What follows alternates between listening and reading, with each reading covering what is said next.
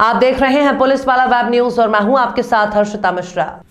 अखिल भारतीय पूर्व सैनिक सेवा परिषद जिला रीवा के अंतर्गत बरा कठार इकाई के तत्वाधान में कठार स्कूल के प्रांगण में भारत पाक उन्नीस सौ इकहत्तर के युद्ध में भारतीय सैनिकों द्वारा अदम्य साहस और शौर्य पराक्रम दिखाते हुए पाक सेना को मात्र तेरह दिनों में परस्त कर तिरानवे हज़ार सैनिकों को बंदी बनाया। जो एक ऐतिहासिक विजय थी, उसी के उपलक्ष्य में विजय दिवस समारोह का आयोजन किया गया।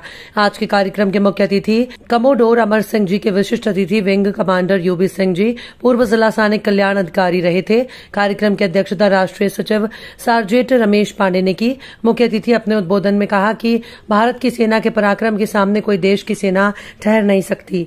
हमारे सैनिक हमेशा मातृभूमि की रक्षा में, हमेशा विषम परिस्थितियों में भी डटे रहते हैं और अपना सर्वोच्च बलिदान देने में भी पीछे नहीं हटते हैं।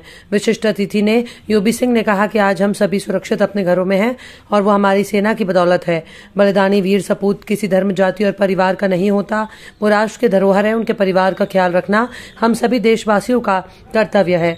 परिषद के मीडिया प्रभारी दिवाकर द्विवेदी ने बताया कि कार्यक्रम में ज़िले के बलिदानियों के निम्नवीर नारियों और माता पिता को सम्मानित किया गया। बच्चियों द्वारा वंदे मातरम और स्वागत और देशभक्ति गीतों से मंत्रमुग्ध कर दिया। उन्हें भी मोमेंटो देकर सम्मानित किया गया। उन्नीस सौ बासठ और उन्नीस सौ पैंसठ और उन्नीस सौ इकहत्तर के युद्ध में भाग लेने वाले बुज़ुर्ग और पूर्व सैनिकों और उनके परिजनों का भी सम्मान किया गया। अंत में सामूहिक राष्ट्रगान के साथ कार्यक्रम का समापन किया गया।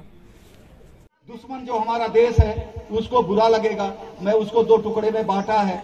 तो हमारे जो जनरल लोग थे, उन्होंने कहा कि अपनी वीर गाथा अपने सैनिकों की जिनने कुर्बानी दिया, इतना बड़ा विजय प्राप्त किया हज़ार सैनिकों को बंदी बनाया, उनका गुणगान हम लोग कब करें? कहाँ करें? कैसे करें?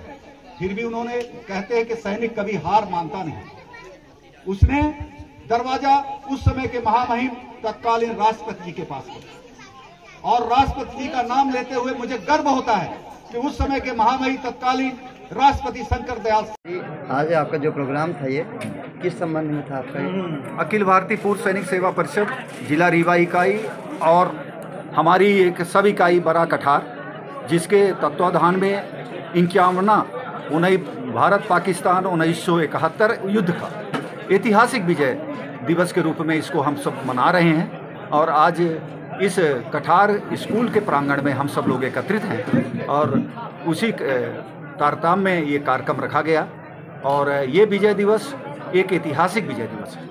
हमारी जो सेना है, अदम्य साहस और पराक्रम दिखाते हुए दुश्मन देश के तिरानवे हज सैनिकों को बंदी बनाया और उनको बंदी बना करके अपने भारत में लाई और एक दूसरे देश का जन्म हुआ, जो आज बांग्लादेश के रूप में जाना जाता है। उससे पहले सामरिक दृष्टिकोण से हमारे पूर्वी पाकिस्तान और पश्चिमी पाकिस्तान हुआ करता था।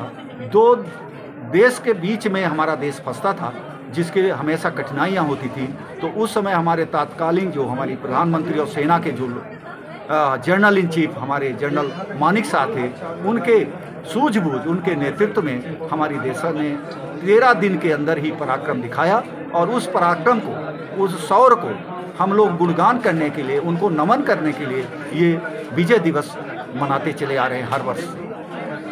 अपना नाम बता दीजिए। मैं और इस विजय दिवस इस विजय दिवस पे अपने रीवा ज़िले के तीन वीर सपूतों ने अपना बलिदान दिया और अन्य जो युद्ध हैं, उनके वीर बलिदानियों का भी हम लोग आज सम्मान किया, जो हमारे रीवा ज़िले के लिए।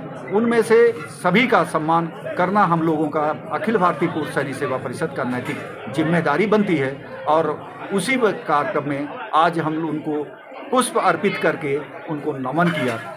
साजेट रमेश पांडे, अखिल भारतीय पूर्व सैनिक सेवा परिषद का राष्ट्रीय सचिव